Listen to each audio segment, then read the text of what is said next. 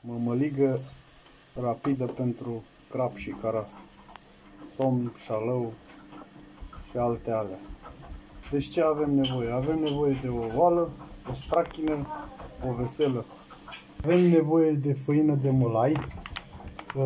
De exemplu, la o pungă de mălai de 1 kg puneți un sfert de făină albă ca să fie un pic lipicioasă așa sau, uh, cum să vă explic, puneți 3 uh, linguri de făină albă de la 6 linguri de făină de mămăligă.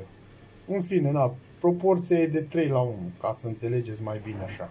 Și ce avem nevoie? Avem nevoie de făină de mălai, puțină făină albă, strachina, lăsăm apa să clocotească și apoi după ce apa clocotește, Opțional, dacă doriți, puteți să adăugați esență de vanilie, de căpșun, de ce vreți voi, arome, oricării, că oricum nu-l interesează pe el. Deci după ce clocotește apa, deci după ce clocotește apa, se ia lingura de lemn, se toarne încet, foarte încet făină de mălai și se amestecă în continuu, în continuu până se întărește. Deci așa se face mămăliga de crap și de caras. Așa. Lăsăm cam un minut, două să stea așa pe aburii ăștia.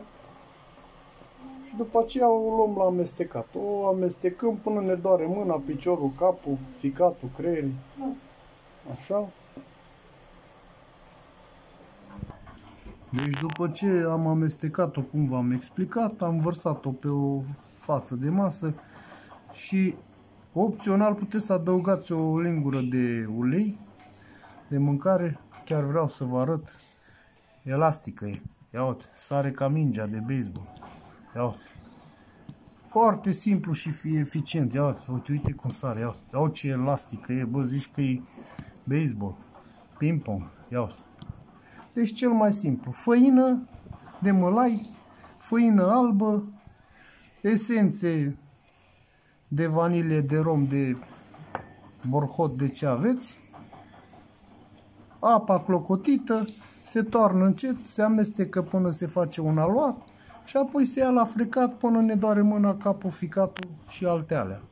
După aceea se varsă jos pe masă, se face niște cocolașe, se împarte în două, se face niște bulgări mari, se bagă într-o pungă de plastic și game over, mergem la pește. Dacă prindem, prindem, dacă nu, mămăliga e bună.